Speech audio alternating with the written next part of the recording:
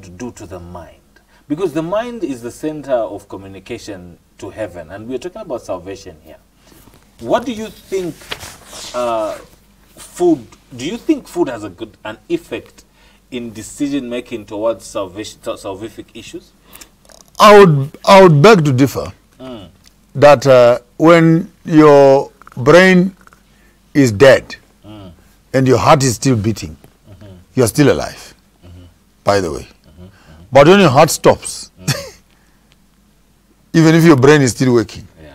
we declare you clinically dead. yeah.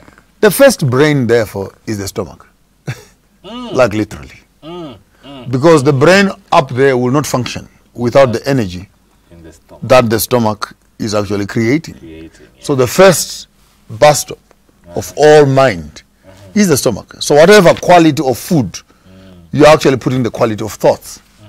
And as such, we need to agree. You being a doctor, help me. That for you to think correctly and clearly, you need oxygen mm-hmm.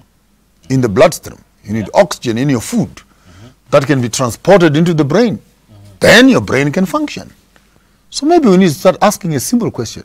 What kind of foods have high oxygen content so that when they are ingested and taken, the body and the bloodstream can absorb this and transport it back into the mind so that you actually your mind could have the diet that it needs both in terms of protein and carbohydrates and glucose and etc to make it function. Mm-hmm. Knowing of course that sugar too much sugar mm-hmm. benumbs the brain and slows down the brain makes you sloppy and etc mm-hmm. and of course look around. Much of our diet right now is high content of sugar. Mm. On the contrary the alkaline diet seems to give you more of the system Yeah. that the body can work with. Yeah. So I'm not saying run a fully alkaline diet. Mm. I'm not saying throw away your sugar diet.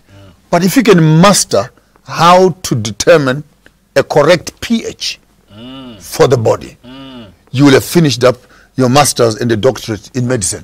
the whole issue of medicine Yeah. is basically trying to manage the pH for the body.